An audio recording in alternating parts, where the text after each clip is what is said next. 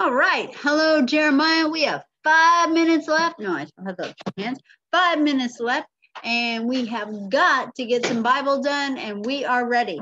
So I'm going to share with you our next lesson. Yesterday we did Finding God's Promises. I go back your paper. Right here, sweet baby.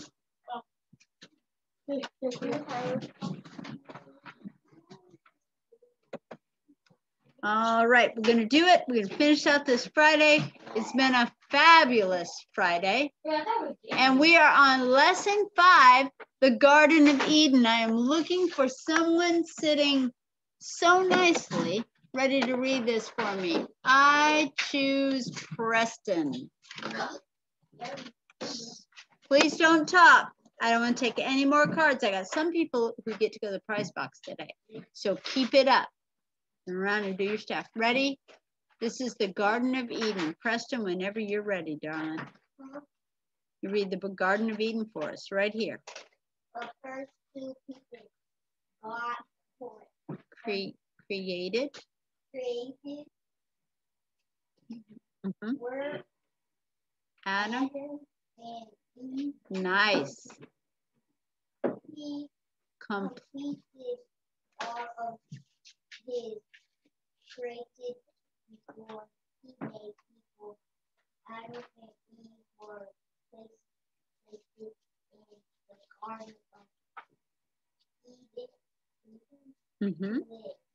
Placed in the Garden of Eden to live. That takes me to Jeff.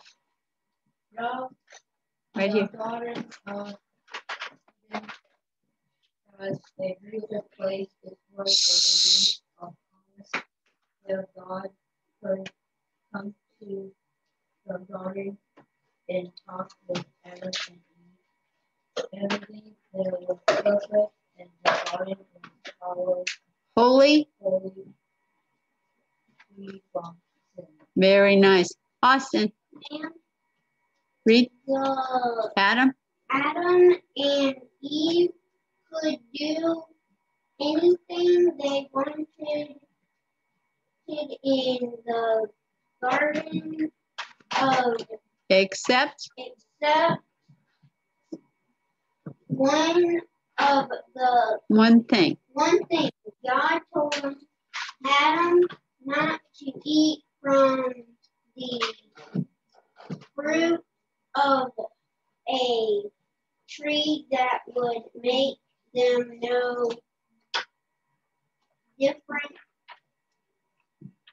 different both Difference between both between between good and evil. They Kylie. I'm I'm sorry, Austin. Can you hold just a moment? uh-huh.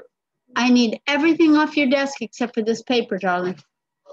Everything off your desk except for this paper. I'm sorry, Austin. Please continue. uh, They did not need to know this because Adam and Eve were perfect.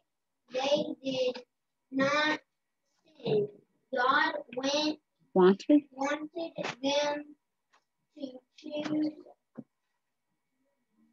to remain remain perfectly perfectly obedient obedient to him.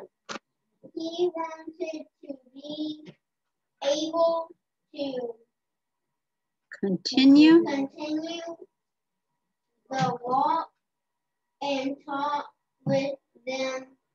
So Adam and Eve stayed always away? away from the one tree that they they enjoyed talking, talking excuse me. walking with God and they enjoyed the garden still some until until some trick, something something terrible terrible happened happened Mm, we'll have to read about that next time. That brings us to study hall.